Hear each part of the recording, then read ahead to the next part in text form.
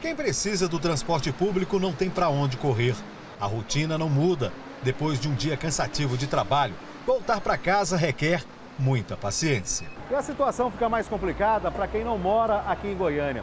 Aqui no terminal da Praça A, por exemplo, esse pessoal aí está tentando voltar para casa, ir para Goianira, para Trindade. E a situação sempre é essa: ônibus lotado, ônibus cheio demais, um sacrifício para voltar para casa. A gente não consegue andar, chega ônibus e é dos dois lados, não é só de um porque tem gente que pega do lado de lá indo para cá, por mais que essa aqui seja a plataforma, mas não cabe gente aqui. Aqui eles pegam ônibus direto para Goianira, que passa ainda no terminal Padre Pelágio. Se eles pegam outro ônibus que só faz a linha até o Padre Pelágio, eles são obrigados a descer no terminal e enfrentar essa mesma situação, né? Exatamente.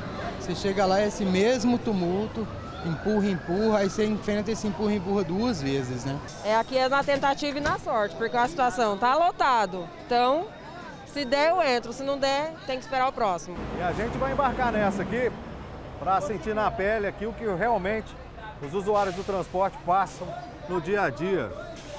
Olha, começa o tumulto, então o pessoal já vai empurrando a gente aqui, ó. Vambora. Vamos que vai. Opa! Epa! Meu Deus!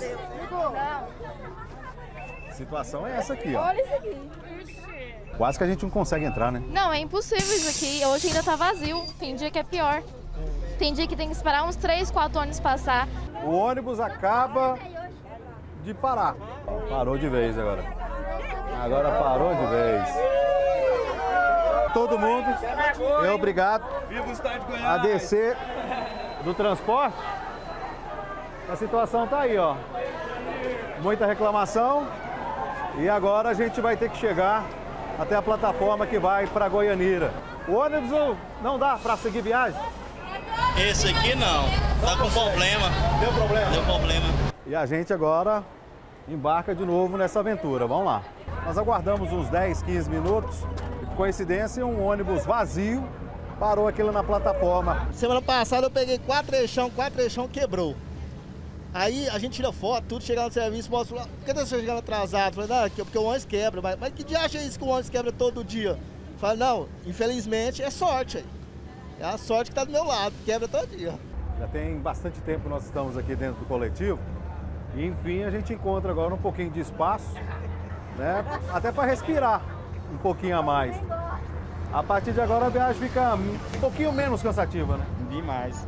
Porque cada dia que passa é daqui para pior. Enfim, a gente chegou ao nosso destino final aqui na cidade de Goianira. Uma viagem de quase duas horas do ponto de onde nós entramos no ônibus, que foi ali na Praça A, com destino aqui a Goianira. E o cenário aqui nem de longe lembra aquele ônibus lotado que nós enfrentamos desde o início da viagem. é uma coisa mais tranquila, a gente desce aqui no terminal e sentimos um pouco o que os usuários passam todos os dias para sair de Goiânia e chegar aqui na cidade de Goianira. Só que essa história, amanhã, tem um outro capítulo.